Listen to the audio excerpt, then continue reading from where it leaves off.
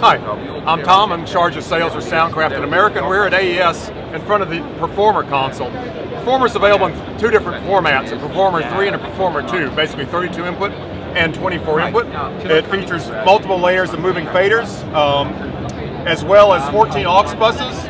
Um, every input, every output has a compressor, a gate, and a four-band parametric EQ. Every output has a graphic EQ so you basically have a 28 band graph EQ on every output. And as you can see on the faders, we use a thing called fader glow that indicates if we're for fader, sends on fader uh, mode, you show yellow for pre-fader aux, green for post-fader aux, and blue for effect sends. Speaking of effect sends, the Performer comes with four Lexicon effects units built into it. To access the effects units, you hit effects, and then basically you have four uh, individual units with 29 parameters each on it.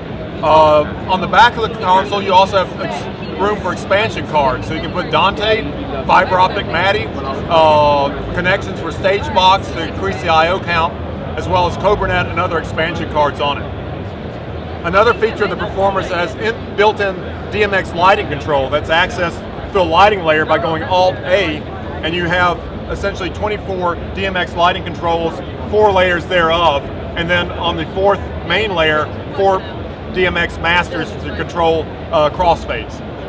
That's a SI Performer at AES 2013.